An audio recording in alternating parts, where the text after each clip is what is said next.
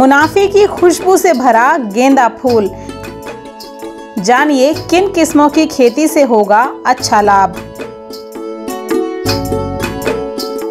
गेंदा की खेती की जब बात आती है तो हम देख रहे हैं कि भारतवर्ष में गेंदा खेती बहुत पुराने वर्षों से चली आ रही है। लेकिन किसान करते क्या है, पारंपरिक खेती करते चले आ रहे हैं। जो लोकल वैरायटीज़ होती हैं, जो वहाँ स्थानीय जो जातियाँ हैं, उन्हीं को लगा लेते हैं।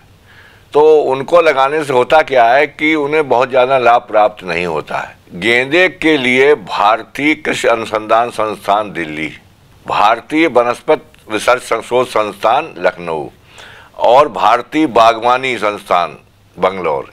ये गेंदे के लिए जो है बहुत ज़्यादा इन्होंने काम किया है।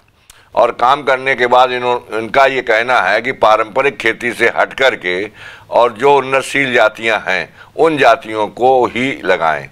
अब उसमें भी उन्होंने अलग अलग वर्गीकरण कर दिया है, जैसे अफ्रीकन गेंदा, मैक्सिकन गेंदा, उसके बाद आपका जो है वो फ्रेंच गेंदा, उसके बाद संकर किस्में। तो अब कहाँ पर हमको किस तरीके से कौन सी प्रजाति का सिलेक्शन करना है? अगर हमें कट फ्लावर्स के लिए जो है इस्तेमाल करना है तो हमको अफ्रीकन गेंदा से अच्छी कोई वैरायटी नहीं है।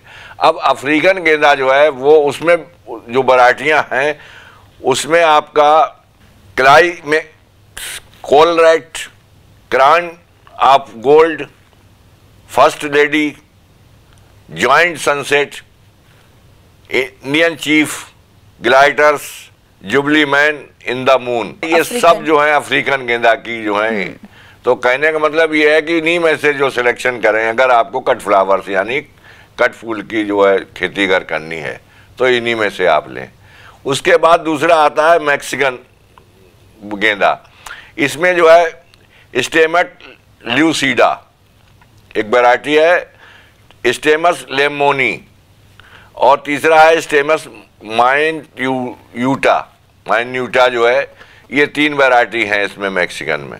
उसके बाद जो फ्रेंच गेंदा है जो हमारे मंदिरों में भी इस्तेमाल होता है और सजावट में भी काम आता है तो ये धारीदार होता है और, और इसमें जो है चित्ती पड़ी हुई होती हैं और इसकी पैदावार भी बहुत अधिक होती है। तो इस फ्रेंच गेंदा में जो है सबसे बड़ी बात यह है कि पौधा जो होता है झाड़ी नुमा होता है और पौधा जो है बढ़ता है काफ़ी स्पेस लेता है।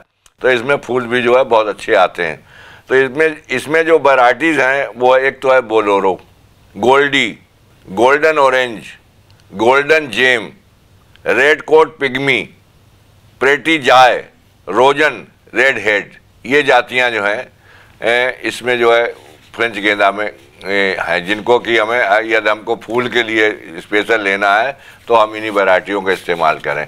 उसके बाद बंगलौर ने और पूसा ने मिलकर के कुछ संकर किस्में भी निकाली हैं, जिनकी पैदावार काफ़ी अधिक होती है, और उसमें जो है नगेट टेट्रा सफोरेड पूसा नारंगी गेंदा पूसा बसंती गेंदा ये विशेष हैं।